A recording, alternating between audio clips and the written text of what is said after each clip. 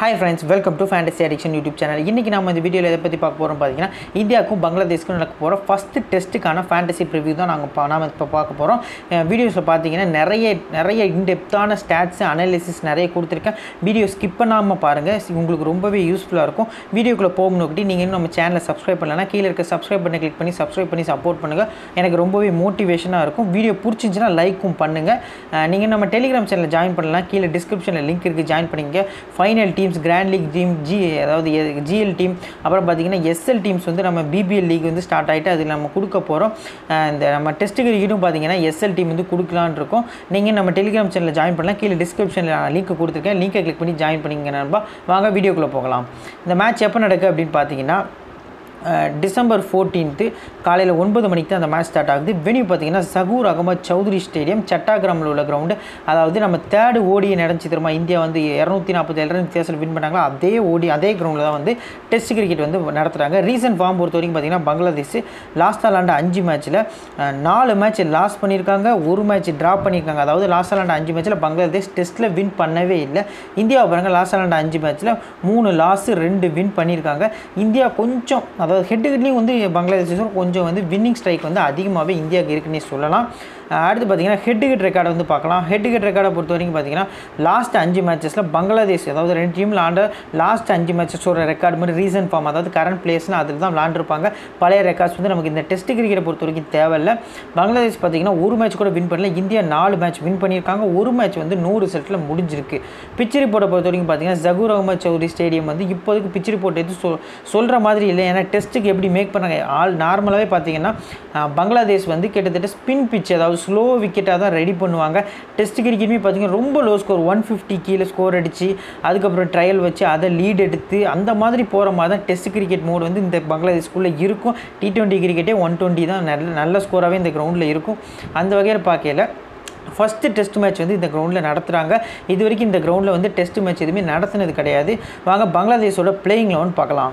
பங்களாதேஷை பொறுத்த வரைக்கும் பார்த்தீங்கன்னா M Hasan Joy Anamul Haque Najmul Hossain Shanto Lytton Das Shakib Al Hasan captain அடுத்து மோமினுல் ஹக்யூ அடுத்து பார்த்தீங்கன்னா நூர் அல் ஹசன் விக்கெட் கீப்பிங் ஆப்ஷனில் இருக்கார் நல்ல பிளேயர் அடுத்து முகமது சாரி மெகதி ஹசன் மிராஸ் ஓ மேன் ஆஃப் த சீரீஸ் வாங்கினார் ஓடிய சீரீஸில் எபாடர் ஹுசைன் சொரிஃபுல் இஸ்லாம் கலீத் அகமது. இந்த பிளேயர்ஸ் தான் இது வந்து ஃபை ஃபைனல் லெவன்ஸ் கிடையாது ப்ராபபிள் லெவன்ஸ் தான். இதில் பார்த்தீங்கன்னா பெஞ்சில் வந்து தைஜுல் இஸ்லாமும் ஷொரிஃபுல் சாரி தைஜுல் இஸ்லாமும் டஸ்கின் அகமது இந்த ரெண்டு பிளேஸ் இருக்காங்க. என்னை பொறுத்த வரைக்கும் பார்த்தீங்கன்னா இந்த கலீத் அகமது பிளேஸில் வந்து டஸ்கின் அமக அகமது வந்தாங்கன்னா ஒரு நல்ல ஸ்ட்ராங்காக பங்களாதேஷ் டீம் தெரிவாங்க. ஏன்னா டஸ்கின் அகமது இனிஷியலாக நல்லா ஸ்விங் பண்ணுவார் நல்ல எக்ஸ்பீரியன்ஸான பவுலரும் கூட. அந்த வகையில் பார்க்கல கலீத் அகமதுக்கு பதிலாக டஸ்கின் அகமது உள்ளதுக்கான வாய்ப்பு நிறையவே இருக்குது இப்போ இந்தியாவோட பிளேயிங் லெவன் பார்க்கலாம். சட்டேஸ்வர் புஜாரா டீமோட வைஸ் கேப்டன் பொறுப்பை ஏற்றிருக்காரு அடுத்து சட்டேஸ்வர் புஜாராவும் சுப்மன் கில்லும் ஓப்பன் பண்ணுறாங்க Shreyas Iyer one down Kohli KL ராகுல் captain plus wicket keeper Ravichandran Ashwin number சிக்ஸில் பேட்டிங் வர்றாரு. ஏன்னா லோவர் ஆர்டர் பேட்ஸ்மேன் யாருமே இல்லாததுனால இப்போ அதாவது மிடில் ஆர்டர் பேட்ஸ்மேன்ஸ்லேருந்து ஜடேஜா எல்லோரும் இன்ஜுரி ரோஹித் சர்மா இன்ஜுரி ஷமி ஜடேஜா இந்த மாதிரி மெயின் பிளேஸ் எல்லாம் இன்ஜுரி ஆனதுனால நிறைய பிளேஸ்க்கு வந்து வாய்ப்பு கிடைக்கி அந்த வகையில் பார்க்கல அக்சர் பட்டேல் இறங்குறாரு அடுத்து சௌரப் தாகுன்னு ஒரு பிளேயர் வந்து டெபு பண்ணுறாரு இதுக்கு முன்னாடியே நடந்த பை அதாவது ப்ராக்டிஸ் மேட்சஸில் வந்து செம்ம ரெக்கார்டு வச்சுருக்காரு ஹெட்டு ஹெட்டில் ஆல்ரவுண்டரும் கூட ஃபிஃப்டி ரன்ஸ் அடிக்கார் ஆறு விக்கெட் எடுக்கார். இந்த மாதிரி நல்ல பிக்காக இருப்பார். எஸ்எல்ல வந்து மஸ்ட் பிக்காக நீங்கள் பிக் பண்ணிக்கோங்க. ஜிஎல்னாலும் சரி. அடுத்து பார்த்தீங்கன்னா சர்துல் தாக்கூர் உமேஷ் யாதவ் முகமது சிராஜ். இதுதான் ஃபைனல் இந்தியாவோட பிளேயிங் லெவன்னே சொல்லலாம். இதில் வந்து சேஞ்சஸ் ஆக என்னை பொறுத்த வரைக்கும் வாய்ப்பு ரொம்பவே கம்மி. அடுத்து வாங்க பங்களாதேஷ் பிளேயர்ஸை பற்றி பார்க்கலாம் டீட்டெயில்ஸாக அடுத்து இது வந்து பார்த்தீங்கன்னா முகமது முகமது முகமதுல் ஹசன் ஜாய். வெனி ஸ்டாட்ஸ் பார்த்தீங்கன்னா ஒரு மேட்ச் ஆடி ஐம்பத்தெட்டு ரன் அடிச்சிருக்காரு. ஓவரால் டி டெஸ்ட் ஸ்டாட்ஸை பார்த்தீங்கன்னா இருபத்தஞ்சு ரன் இருக்குது ஹெட் ஹெட்டில் வந்து இவர் ஆடினது கிடையாது. ஓப்பன் வாராரு சிராஜ் ப்ளஸ் உமேஷ் யாதவ். ரெண்டு பேருமே செம ஸ்விங் பவுலர்ஸு இந்த டாப் டூவில் பார்த்தீங்கன்னா அனாமுல் ஹெக்யூக்கு ஒன் டேலேயே தெரியும் நமக்கு சிராஜ் எல்லா மேட்சும் இவர் சிராஜ் தான் எல்லா மேட்சும் விக்கெட் எடுத்திருந்தார். அந்த வகையில் பார்க்கையில் சிராஜுக்கு ஆப்போனண்ட்டாக இவர் வந்து ரொம்ப வீக்காக இருக்கார் அனாமுல் ஹெக்யூ ப்ளஸ் இவரும் வந்து ஒரு இன்எக்ஸ்பீரியன்ஸ் பிளேயர் தான். அதாவது இப்போ தான் டீமுக்குள்ளே வராங்க. டாப் டூவில் வந்து இவர் கொஞ்சம் எக்ஸ்பீரியன்ஸ் எக்ஸ்பீரியன்ஸ் இருக்குன்னு சொல்லலாம்.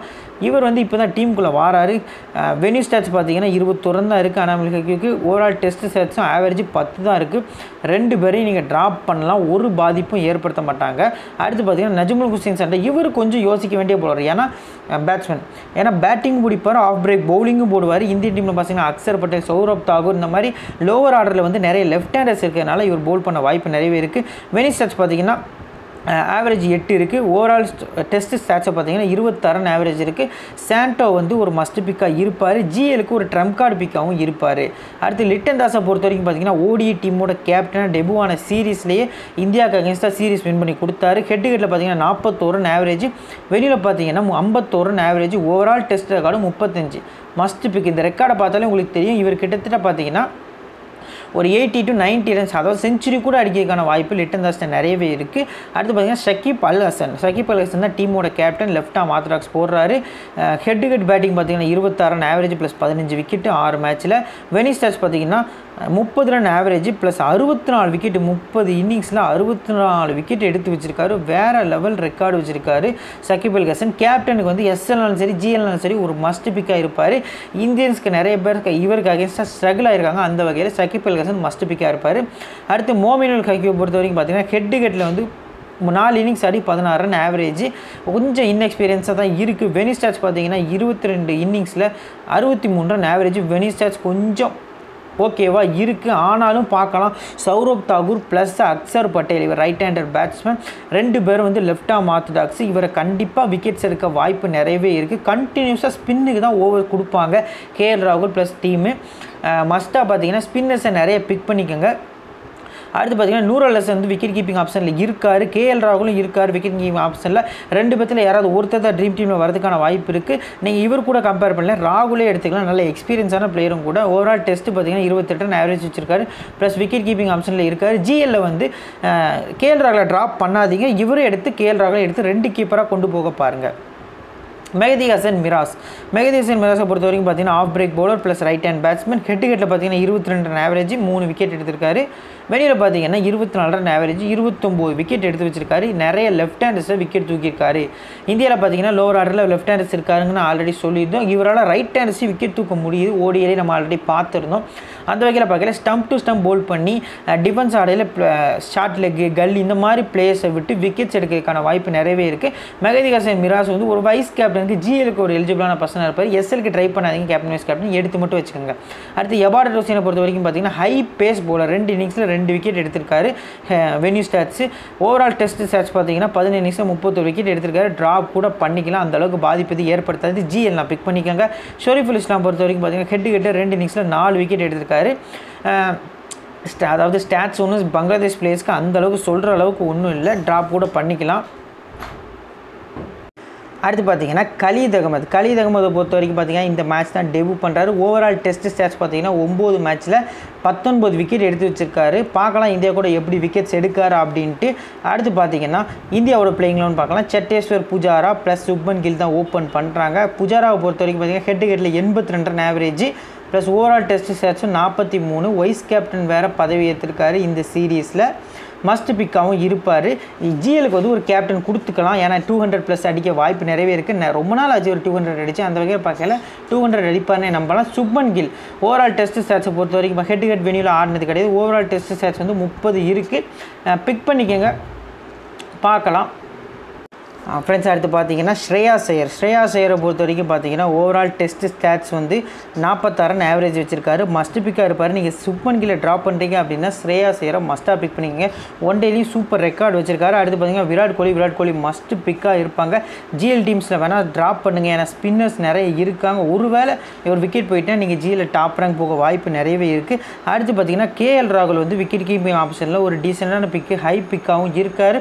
எஸ்எல்ல நிறைய பேர் பிக் பண்ணியிருக்காங்க. நம்மளும் பிக் பண்ணிக்கலாம். கேப்டன்ஷிப்பும் பண்ணுறாரு அந்த வகையில் பார்க்கல ஒரு நல்ல ரன்ஸ் வந்து ஒரு ஹண்ட்ரட் ப்ளஸ் வந்து அடிக்கிறதுக்கான வாய்ப்பு நிறையவே இருக்குது மிடில் வாராரு. கொஞ்சம் பா இனிஷியலாக ஸ்விங்கெல்லாம் கண்ட்ரோலாக இருக்கும் அவருக்கு நியூ பாலில் ஆடி தான் நிறைய பழக்கம். இனிஷியலாக இப்போ ஊடையில் அதாவது மிடில் ஆர்டரில் வர்றதுனால கொஞ்சம் செட்டாகி அடிக்கிறதுக்கு வந்து டெஸ்ட் கிரிக்கெட்டில் இவருக்கு நிறையவே வாய்ப்பு இருக்குது ஹெட் கிரிக்கெட்டில் பார்த்திங்கன்னா ஒரு மேட்ச் ஆடி ஆறு ரன் ஆவரேஜ் இருக்குது இது ரெண்டுமே ஓப்பனிங்கில் ஆடினது அடுத்து பார்த்தீங்கன்னா ரவி அஸ்வின் நம்பர் சிக்ஸில் இருக்கார். ஹெட் ஹெட்டில் பார்த்தீங்கன்னா இருபத்தி ரெண்டு ஆவரேஜ் ப்ளஸ் நாலு மேட்ச்சில் பதினாறு விக்கெட் எடுத்து வச்சிருக்காரு. நல்ல ஆப்ஷனாக இருப்பார். டீசெண்டான ஆப்ஷனாக இருப்பார். கேப்டன் வைஸ் கேப்டன் சாய்ஸ்க்கு அடுத்து அக்ஷர் பட்டேலை பொறுத்த வரைக்கும் பார்த்தீங்கன்னா ஓவரால் டெஸ்ட் ஸ்டாட்ஸ் ஹெட் ஹெட்லேயும் ஆனது கிடையாது. வெளியிலையும் ஆனது கிடையாது. ஓவரால் ஸ்டாட்ஸ் பார்த்தீங்கன்னா இருபத்தி நாலு ரன் ஆவரேஜ் ப்ளஸ் ஆறு இன்னிங்ஸில் முப்பத்தொம்போது விக்கெட் நல்லா நோட் பண்ணுங்கள் ஆறு இன்னிங்ஸில் முப்பத்தொம்போது விக்கெட் எடுத்து வச்சிருக்காரு. ஆவரேஜாக பார்த்தீங்கன்னா கிட்டத்தட்ட ஒரு இன்னிங்ஸ்க்கு ஏழு விக்கெட்டு கிட்ட எடுக்காரு. கிட்டத்தட்ட ஆறரை விக்கெட்டு கிட்ட ஒரு இன்னிங்ஸ்க்கு எடுக்காரு. நல்லா யோசித்து பார்த்துக்கோங்க மஸ்ட் பிக்காக இருப்பார் அக்ஷர் பட்டேல். கொஞ்சம் லோ பிக்காகவும் இருக்கார். அடுத்து பார்த்தீங்கன்னா சௌரவ் குமார். சௌரவ் குமார் பார்த்திங்கன்னா டெபு பிளேயர் வேறு லெவல் ரெக்கார்டு வந்து அதாவது ப பயிற்சி போட்டியில் வந்து அடிச்சிருந்தார்.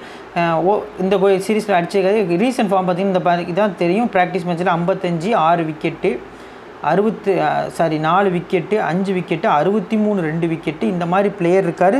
ஜிஎலுக்கு வந்து இவர் நீங்கள் மஸ்ட்டாக பிக் பண்ணிங்க. ஓவரால் டெஸ்ட்டும் பார்த்தீங்கன்னா இருபத்தொம்போது ரன் ஆவரேஜ் ப்ளஸ் ஐம்பத்தி நாலு இன்னிங்ஸில் நோட் பண்ணுங்கள் இரநூத்தி முப்பத்தி ஏழு விக்கெட் எடுத்து வச்சுருக்காரு. செம பிளேயரு அப்படியே இந்த ரெண்டு லெஃப்ட் ஆம் ஆர்த்தடாக்ஸ் பவுலரு நீங்கள் எஸ்எல்னாலும் சரி ஜிஎனாலும் சரி மஸ்ட்டாக பிக் பண்ணிக்கங்க.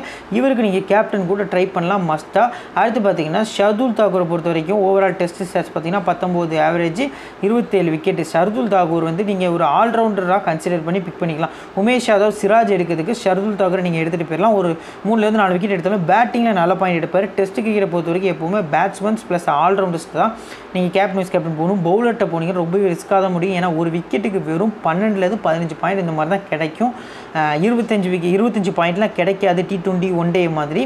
அந்த வகையில் பார்க்கல பேட்ஸ் பேட்டிங்க்கு எப்போவுமே ஓடி அந்த மாதிரி ஃபார்மேட்டில் கொடுக்குற மாதிரி ரன்ஸ் இருக்கும். செஞ்சுரி அடித்தா ப்ளஸ் டுவெண்ட்டி பா டுவெல் பாயிண்ட்ஸ் இந்த மாதிரி எக்ஸ்ட்ரா ஆகுமே தவிர பேட்ஸ்மனுக்கும் ப்ளஸ் ஆல்ரவுண்ட்ஸ்க்கும் தான் நிறைய பெனிஃபிட் இருக்குது அந்த வகையில் பார்க்கல ஆல்ரவுண்டர்ஸ் பேட்ஸ்மேன்ஸ்க்கு கேப்டன் வைஸ் கேப்டன் போய்க்குங்க உமேஷ் யாதவ் பொறுத்த வரைக்கும் பார்த்தீங்கன்னா ஓவரால் டெஸ்ட் செட்ஸ் 52 ரெண்டு மேட்சஸில் நூற்றி ஐம்பத்தெட்டு விக்கெட்ஸ் எடுத்திருக்காரு. இந்த மேட்ச்சில் ஒரு ஒன் ஒரு அஞ்சுலேருந்து ஆறு விக்கெட் எடுத்தாலுமே பெரிய பாதிப்பு ஒன்றும் ஏற்படுத்த மாட்டார்.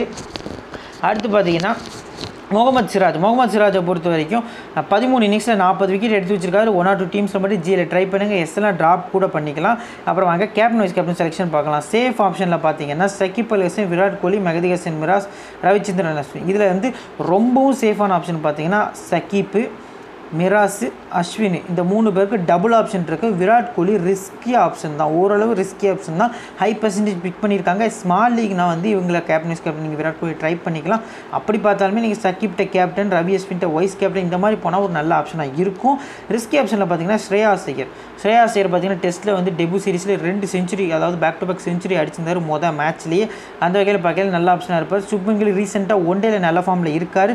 டெஸ்ட்லேயும் அதை கண்டினியூ பண்ணுவார் நம்ம எதிர்பார்க்கலாம். ராகுலை பொறுத்த வரைக்கும் பார்த்தீங்கன்னா மிடில் வராரு. கொஞ்சம் செட் ஆகி நல்லா பொறுமையாக பால் ஸ்பின்னர்ஸ் தான் நிறைய ஃபேஸ் பண்ணுவார். ஸ்பின்னர்ஸ் நல்லாவே ஆடுவார். அந்த வகையில் நல்லா பாயிண்ட்ஸ் எடுத்து கொடுக்க வாய்ப்பு இருக்குது ஷர்துல் தகன் ஆல்ரெடி சொல்லியிருந்தேன் ஆல்ரவுண்டராக கன்சிடர் பண்ணுங்கள் அந்த வகையில் வைஸ் கேப்டன் சாய்ஸ்க்கு எலிஜிபிளாக இருப்பார். அக்ஷர் பட்டேல் ஸ்டாட்ஸ் ஆல்ரெடி சொல்லியிருந்தேன். இந்த லிஸ்ட்டில் வந்து நீங்கள் சௌரப் தாகூரை வந்து சேர்த்துக்கங்க. அவர் என்ன தான் வந்து டெபு ஆனாலும் நல்ல ரெக்கார்ட் வச்சுருக்காரு. அதாவது ஒரு கிட்டத்தட்ட ஆறு விக்கெட் கூட எடுக்க வாய்ப்பு இருக்குது லெஃப்ட் ஆம் ஆர்த்தடாக்ஸ் பார்த்தீங்கன்னா ஐம்பது இன்னிங்ஸில் இரநூத்தம்பது விக்கெட் எடுத்து வச்சிருக்காரு. நீங்கள் கொஞ்சம் யோசிக்கணும். அந்த ப பவுலரை பற்றி மஸ்ட்டாக நீங்கள் பிக் பண்ணிக்கோங்க. அப்புறம் பார்த்தீங்கன்னா நம்ம சேனலில் ஜிஎல் வினிங் டிப்ஸ் வீடியோ வந்து நம்ம அப்லோட் பண்ணியிருக்கோம். நீங்கள் இன்னும் அந்த வீடியோ பார்க்கலாம். மேலே ஐ கார்டில் கொடுக்க கீழே டிஸ்கிரிப்ஷனில் கொடுக்க வீடியோ பார்த்துங்க வீடியோ பிடிச்சிக்கும் நம்புறேன். வீடியோ பிடிச்சிச்சுன்னா லைக் பண்ணுங்கள் உங்கள் ஃபேண்டசி ஆடுற உங்கள் ஃப்ரெண்ட்ஸுக்கு ஷேர் பண்ணுங்கள் சப் சப்போர்ட் பண்ணுங்கள் தேங்க்யூ ஃப்ரெண்ட்ஸ்